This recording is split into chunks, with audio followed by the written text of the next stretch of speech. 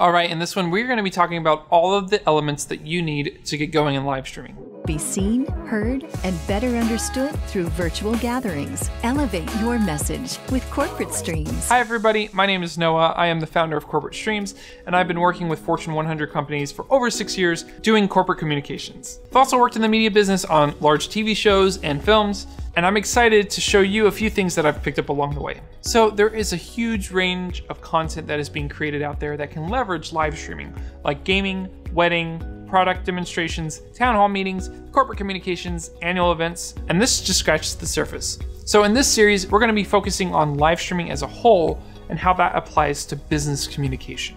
Here is what a 10,000 foot view of a live stream might look like for you. So let's start from the top here. Your talent or the show is the program or content that you're planning for your audience to see. Your show will be captured by one or multiple cameras, and this data will go through a video switcher, which combines or mixes those images into a single feed in real time. The output of the switcher, which is referred to as the program, goes into the encoder or capture device and is translated into something the computer can understand.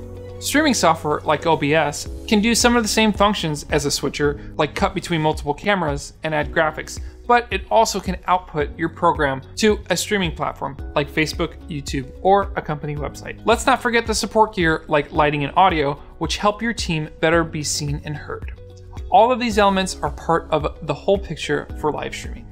I know there's going to be a lot to cover here, so let's just talk about a summary of each one of the topics that we'll be covering in this free training series. Workflow, which is understanding the start to finish of how your video and audio travels through your production. Staging and sets. These are the backdrops and the elements that help make up the look and feel of your show. Audio, which will include cables, connectors, microphones, sound isolation, a PA system, capture devices, recorders, and mixers.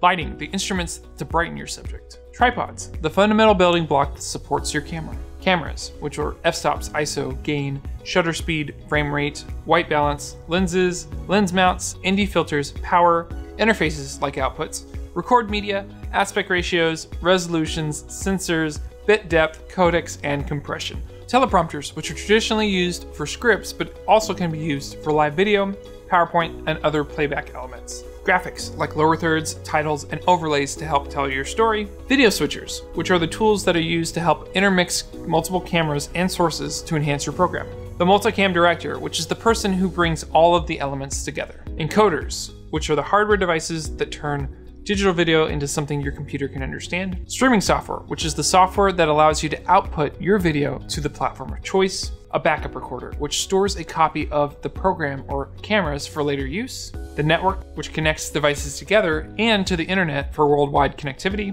platforms, which are the destinations like Facebook, YouTube, or a company website to host the live video, and finally, we'll be talking about the future of live streaming with augmented reality, virtual reality, and other technologies like 3D. We're just scratching the surface of all these topics, so make sure to save this playlist as we take a deep dive into each one of these topics. And here's a great bonus tip for live streaming. Like most things in life, if you plan ahead, you'll plan for success. So make sure to give yourself ample time to set up your gear, hire the crew you need, and think through each one of the points that we've outlined in this series.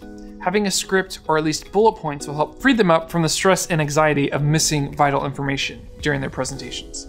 If you want to find out how you can maximize your live streaming potential, you can always contact us at Corporate Streams. Let me know what experiences you have with live streaming in the comments below. We'd love to hear from you. And we'll see you in the next video about workflows.